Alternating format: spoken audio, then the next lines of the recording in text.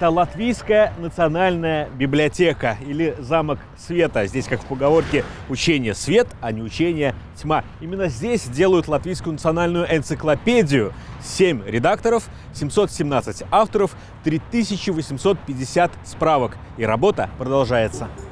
Научное справочное пособие по всем или отдельным отраслям знания. Вот как любая энциклопедия отвечает на вопрос, что такое энциклопедия.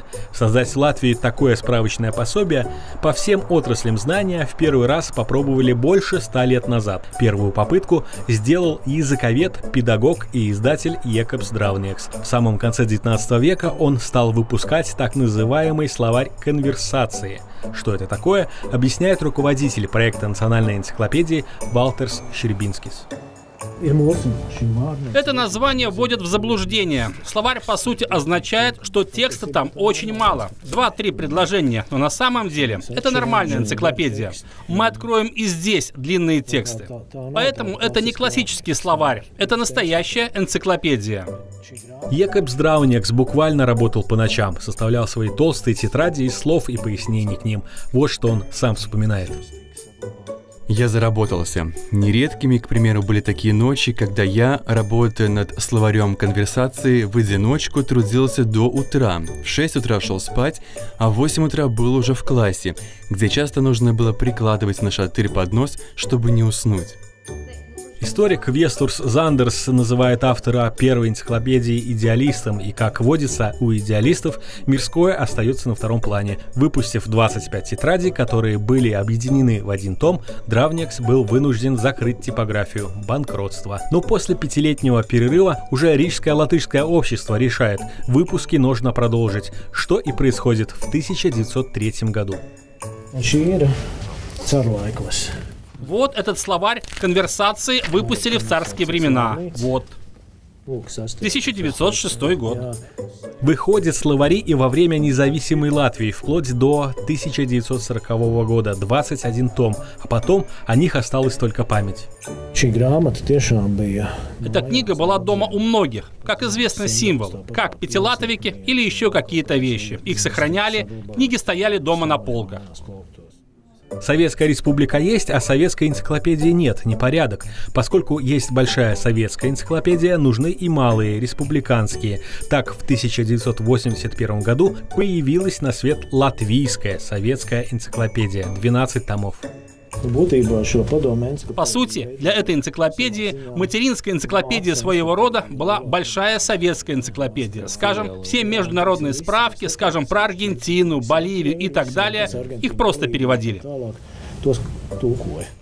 Ну а что потом? А потом многие частные издатели пробовали подступиться к этому проекту, но их отпугивал финансовый вопрос. Тем более за примером далеко ходить не надо. В Эстонии издатель энциклопедии просто разорился.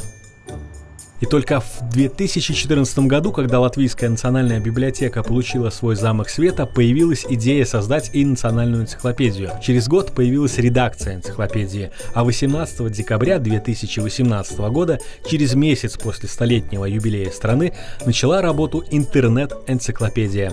Выходить в интернете решили сразу, просто в 21 веке даже энциклопедии по-другому нельзя. Чтобы подготовить печатный том, нужны другие принципы, другой подход. Наших ресурсов не хватает для выпуска печатного издания. Это первое. Во-вторых, печатный том означает следующее. Как только это издание выходит из типографии, оно устаревает. Сейчас мне нужны 15-20 секунд, чтобы какую-то простую вещь обновить. Скажем, результаты в спорте, какую-то запятую поставить. В печатном издании как вышло, так вышло. И эти привычки очень существенны существенно изменились. Есть определенная часть жителей, которые держатся за книги, которые говорят, мне нравится держать книгу в руках, ее запах. Наверное, так и есть. Но с другой стороны, человек, который ищет информацию, а не какое-то удовольствие, такой человек информацию ищет практически только в интернете. Ну, не листает он энциклопедию, чтобы что-то найти. Может быть, кто-то и листает, но, думаю, абсолютное большинство использует интернет. Да и тиражи энциклопедий совсем другие. Раньше речь шла о тысячах, а теперь совсем другие числа. В прошлом году у нас было больше миллиона уникальных пользователей. Национальную энциклопедию создают сотни авторов, специалистов своей отрасли, поскольку энциклопедия – научное издание, то и доверяют ее в основном ученым. Почему мы так доверяем ученым? Потому что для ученого очень важна его репутация. Если его репутация будет разрушена, то он как ученый будет разрушен. Поэтому они очень ответственно относятся к тому, что пишут. Они знают, что даже если никто другой не прочтет, его коллеги на кафедре прочтут и обязательно скажут, что они об этом думают.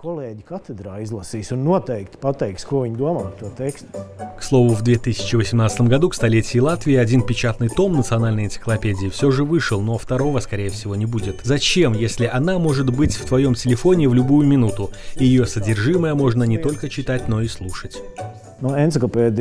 Энциклопедия может развиваться очень долго. Потенциал для развития энциклопедии практически безграничен. Будет существовать тот, кто изменится. Эта цитата из пьесы Яниса Раниса «Золотой конь» уже давно стала афоризмом. Так и с энциклопедией. Ей пришлось очень сильно измениться, чтобы снова существовать. Смотри, какая красота! Самое время поставить лайк этому видео и подписаться на РусЛСМ. Это Азбука Латвии, буква «Э».